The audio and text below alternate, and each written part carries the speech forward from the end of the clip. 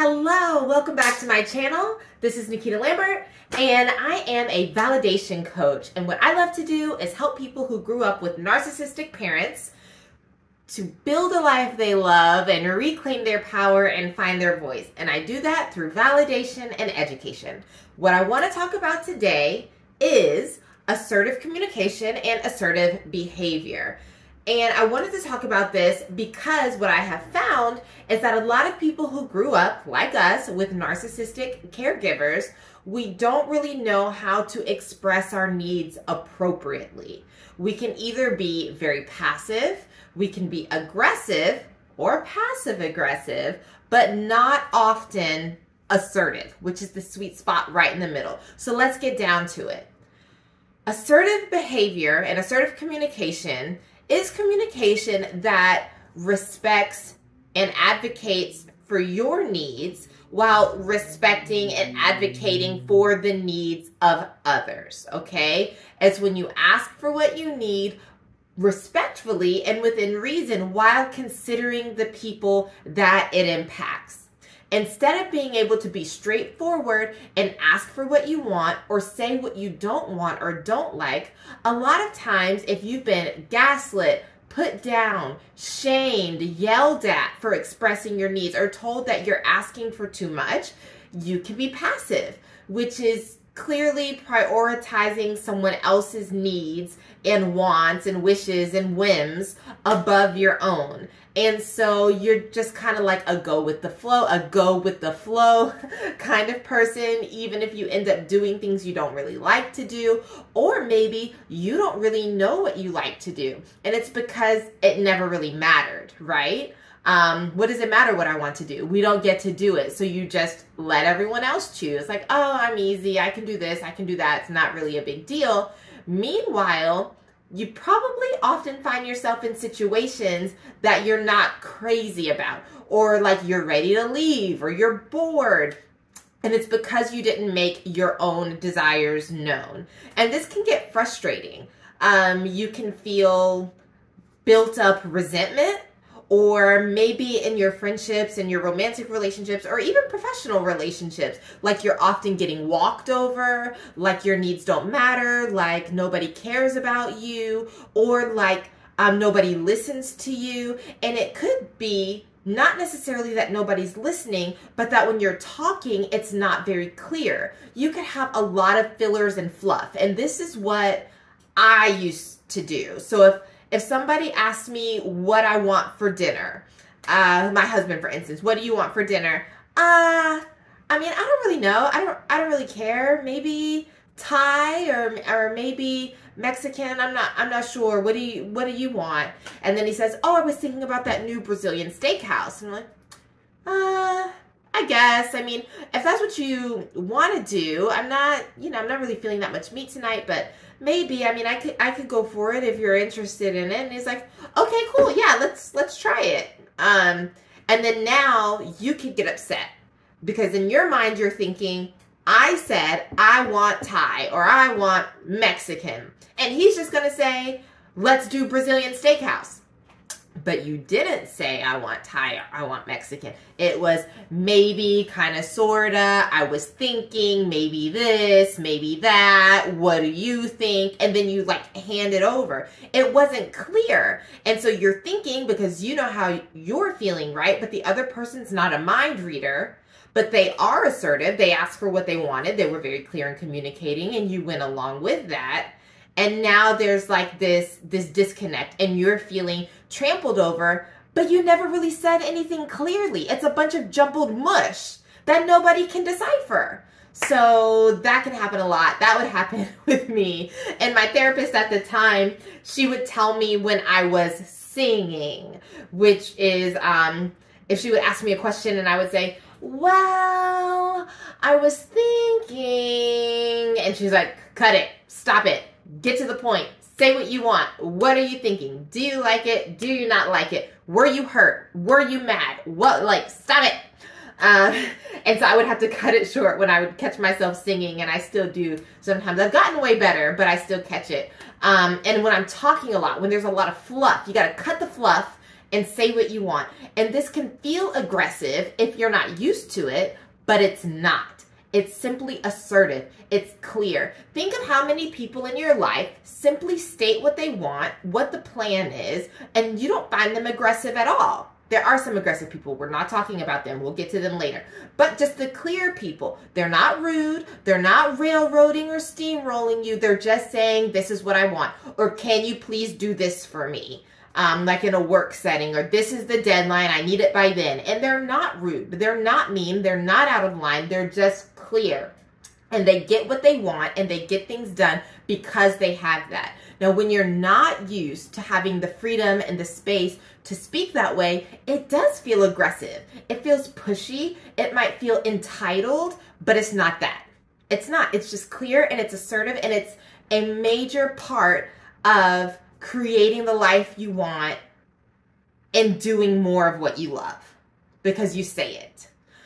Okay, so that is assertive and passive. We've talked about assertive and we've talked about passive. Now, aggressive. Instead of allowing yourself to become a doormat, you may have decided once you've kind of gotten away from the abusive, narcissistic person that nobody is talking to me like that ever again. I don't know who you think you are, but it ain't happening. Um, and so if anybody even comes at you sideways or thinks of not listening to you, as no, because I want to do this and I don't feel like this and we're going to do this and, and as soon as this happens, I'm going to leave. So like and all of that and, and not necessarily always all that body language right but that can kind of be the spirit or the vibe that other people get off of you and so it's when you prioritize your needs and your wants over someone else's, especially in communication. Um, like if someone is trying to talk to you and express themselves, but you don't want to hear it, so you cut them off. You don't let them finish. Maybe you tell them that their way of thinking is it doesn't make sense. Um, and it doesn't make sense to who, right? Okay, so maybe logically, factually, it doesn't make sense, but something is going on in this person's brain where they're thinking it does. So you don't have to put them down like that. You could talk to them, try to meet them where they are, ask questions to draw them out, but just like shutting it down, it's a little aggressive. Um, and so you don't want to go to that end either because now you become an unsafe space not to say that being passive is safe. That's not safe because it's not authentic. It's not true connection. And then again, the resentment that builds up, like it's not healthy in the long run. But the here and now aggressiveness, aggression, it feels, you know, abrasive. So you don't want to do that either. You want to find the sweet spot right in the middle, which is, say it with me, assertiveness. That is the word. That is the word for you. Be assertive. Be clear. Assert yourself. And I have an acronym that I can go into in other videos, and it's ACT for act assertive. A is for affirm. You want to get in the habit of affirming yourself that you have every right to ask for what you're about to ask for or to say whatever you're about to say to say that you don't like something, to say that you would prefer something, to make a decision, to set a deadline. If it's a work relationship, if this is your job, you are well within your right to expect things from other people if that's their job, right? Um, so affirm, talk to yourself, have a pep talk in the mirror, run it back in the car, whatever you need to do. review your job description, review your wedding vows, whatever you need to do to get in the right mind space to say, I'm not crazy and I'm not too much for making this ask or setting this boundary. Okay. So once you affirm, you believe it, you can move forward to the C, which is confirm.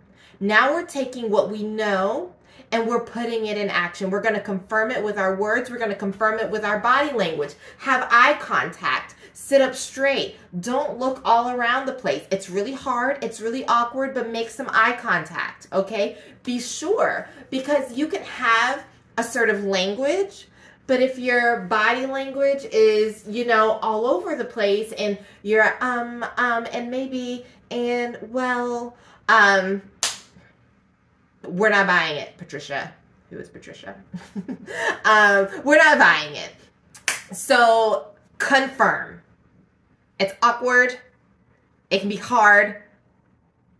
Realistically, it took me years of practice and I still have to like run through all of these things whenever I have to have an uncomfortable conversation and, you know, coach myself. Look assertive. Um, but it's important, okay? So confirm it and then trust. It's hard. It can be hard. This is scary. This is new territory. We were never allowed to speak this way, right? Or like if you're used to being passive, you're you're scared to speak up. If you have swung to the other side to be aggressive, now it's okay, well, if I don't just shut them down, what what if they walk all over me? And you have to trust. Trust that your person the person that you're talking to is a healthy person and that they're going to respect what you're saying. Now we know everybody's not a healthy person, but sometimes we can't see that because we're not speaking assertively.